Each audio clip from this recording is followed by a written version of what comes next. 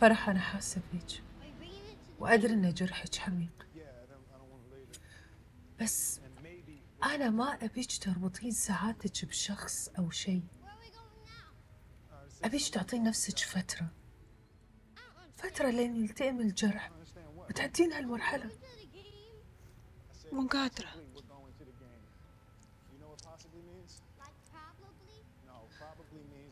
كل ما أشوف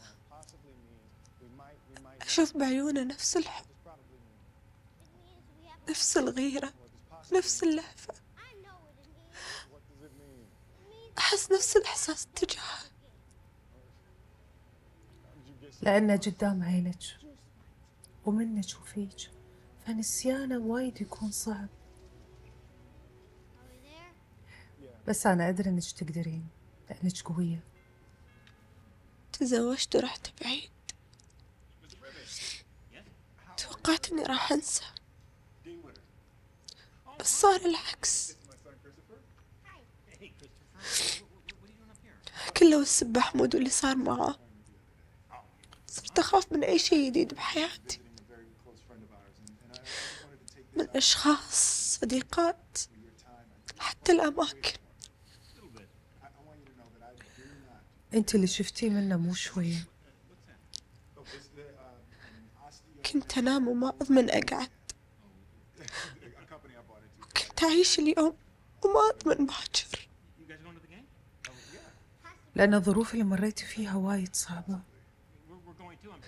صعب على أي أحد في الدنيا إنه يتحملها. المشكلة إن كلها جت ورا بعض.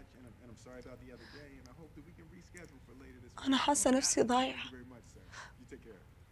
عايشة بألم الماضي وخايفة من المستقبل.